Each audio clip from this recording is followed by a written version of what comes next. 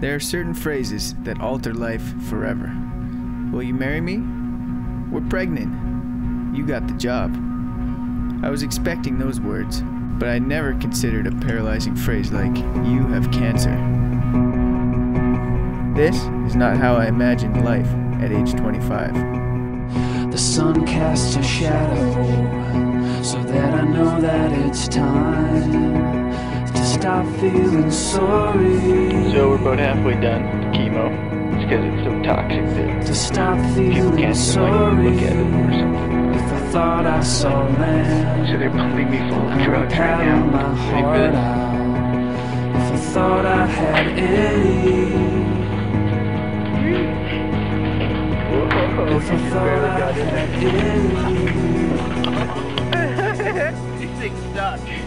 If I thought I had any to give. If I thought I had any left. If I felt that my odds were a drop in the ocean. My name's Mike Lang. I'm from Calgary, Alberta. I'm 26 years old and I was diagnosed with Hodgkin's lymphoma about a year and a half ago. Vikram Bubber. My diagnosis was uh, rhabdomyosarcoma. Jared Brick, and at the age of 16, I was diagnosed with uh, pineal germinoma. One, two, three.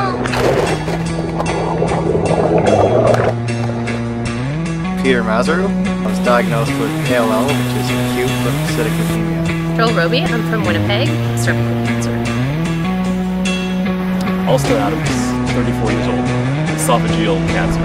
Three and a half rounds of chemo and uh, a round of radiation, and I'm gonna start again.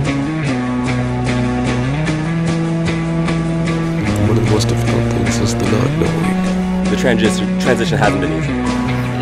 Having this poison injected into my body. Where do I fit in now? I was like a, an 85 year old man uh, in a 32 year old body.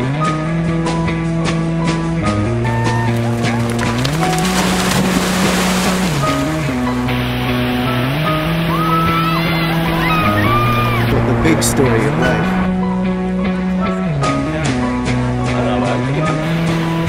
I hope that we pick out the right person. Fantastic.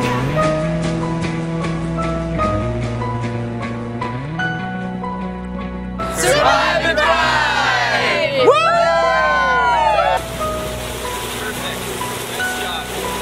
That was all right.